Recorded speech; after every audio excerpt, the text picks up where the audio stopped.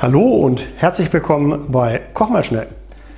Heute möchte ich euch meine super leckeren Parmesan Knoblauch Croutons vorstellen. Super als Garnitur für Salate, zum Beispiel Caesar Salad, aber auch für ganz viele Suppen. Schaut es euch an. Ich hoffe, es gefällt euch.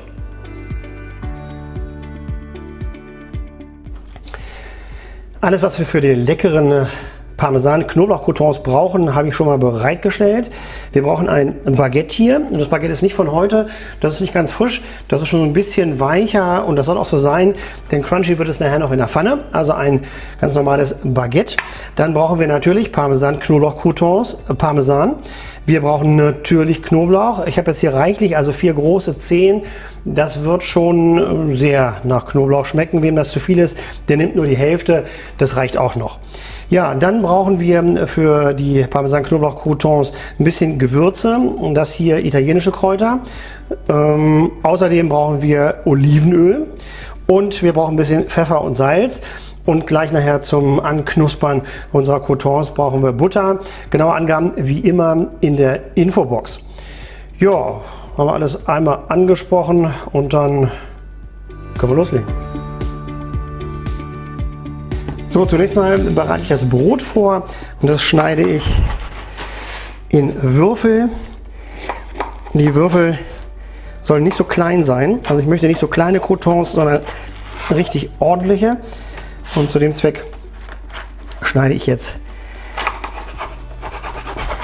das Brot erstmal längst und dann eben hier in Würfel in dieser Größe. Wie gesagt, die sollen also nicht so klein sein.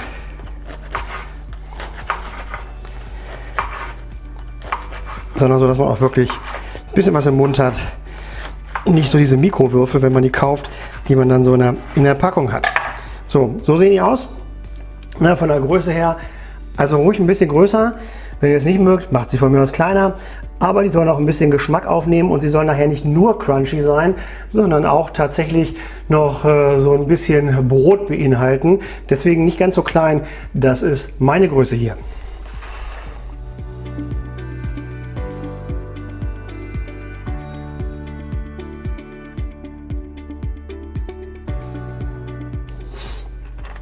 So, das sind erstmal meine Brot-Croutons jetzt.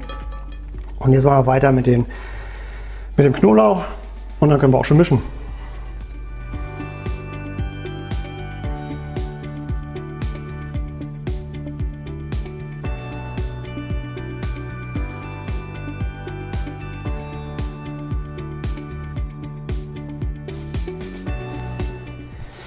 So, jetzt gebe ich das Olivenöl zum Knoblauch.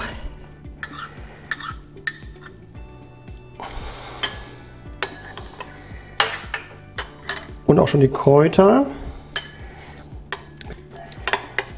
Wir werden das Ganze gleich in der Pfanne zusammen mit den Croutons anrösten. So, und jetzt gebe ich auch schon die Hälfte von dem Parmesan in die Mischung. Und mische das Ganze.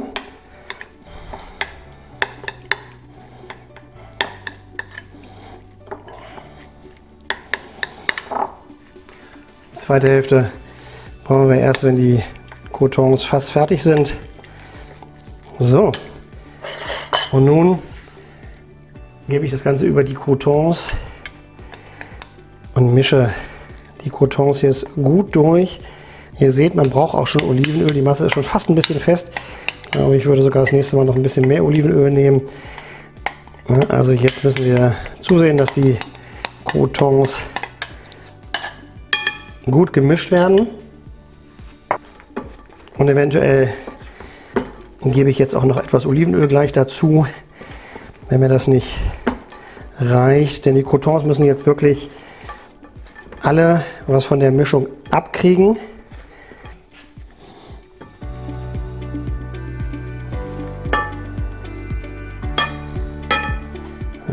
Ruhig noch mal reichlich Olivenöl dazugeben,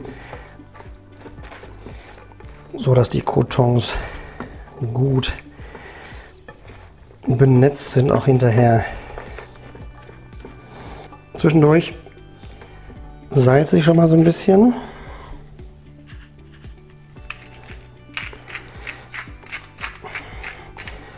Und Pfeffer gebe ich auch schon drauf.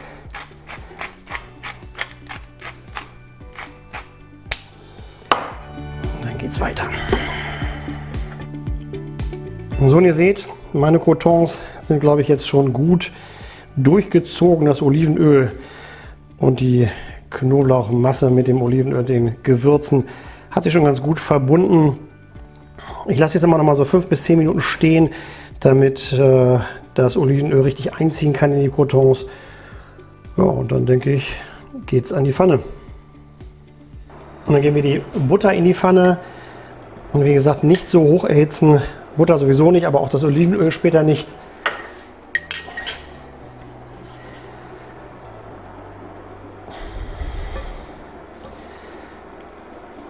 Denn die Butter soll natürlich nicht schwarz werden, auch nicht braun werden. Wir brauchen ja nicht nur so ein bisschen für den Geschmack, denn in den Croutons ist natürlich sowieso schon genug Öl drin. Also eine, eine Diätportion ist das auch nicht. Aber das war ja auch nicht die Aufgabe. So, und wenn so Butter geschmolzen ist, dann geben wir unsere Croutons dazu.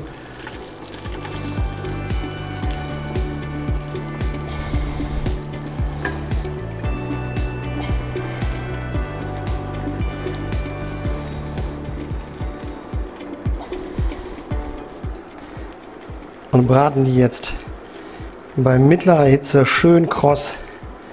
Ein bisschen, aber bitte nicht höher stellen, sonst verbrennt euch die Butter, sonst wird auch der Knoblauch bitter. Also schön Geduld, das wird schon. So, ihr seht schon, hier fangen die Würfel jetzt schon an, so langsam zu bräunen. Es wird schon, nur keine Eile. Das ist wie mit guten Bratkartoffeln jetzt. Keine Frage des Könnens, sondern nur eine Frage der Geduld.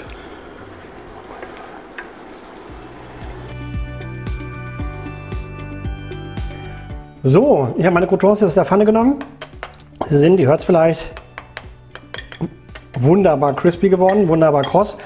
Das reicht die jetzt auch, bevor sie eben noch dunkler oder eventuell schwarz werden, aber wunderbar funktioniert. Und jetzt, wenn sie nicht mehr ganz heiß sind, mische ich den letzten Rest Parmesan nochmal unter.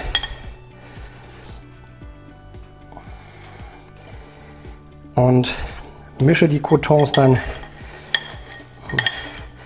sind sie so ein bisschen nochmal mit Parmesan bemehlt. Schmelzen nochmal so ein bisschen an. Das ergibt nochmal ein ganz wunderbares Aroma. Man riecht es jetzt hier auch nochmal durch die Küche zieht. Wenn ihr schlauer seid als ich, dann nehmt ihr eine größere Schüssel. Aber ansonsten klappt das schon ganz gut. Ja, und ihr seht hier meine selbstgemachten Croutons für Suppe, für Caesar Salad oder für andere Gelegenheiten hier. Haben ganz wunderbar funktioniert. Ja, ihr seht es also hier sehr lecker. Kross. Schon der Geruch alleine ist sensationell. Wirklich toll. Tja, ich würde sagen, meine Parmesan Knoblauch Croutons haben geklappt. Wenn es euch gefallen hat, gebt mir einen Daumen hoch und abonniert gerne meinen Kanal. Und ansonsten bis demnächst bei Koch mal schnell.